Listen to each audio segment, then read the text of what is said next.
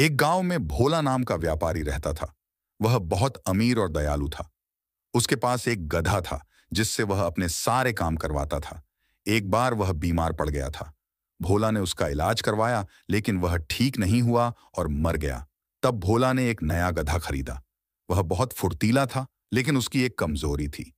वह बहुत आलसी था। वह जब भी सामान ले जाता, तभी रास्ते में बैठ जाता था। भोला उससे बहुत परेशान था। उसको मारता पीटता था। एक दिन गाँव में एक महान आरशी आए थे, जिसे भूत और भविष्य का पता था।